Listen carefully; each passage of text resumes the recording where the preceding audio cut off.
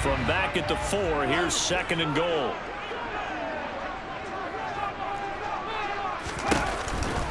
Sanders is not going to advance very far. He'll be stopped right at the line of scrimmage.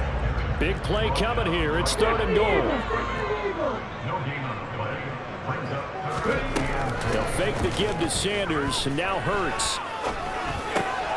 Oh, that's into a double team, and it's intercepted. Tariq Woolen picks it.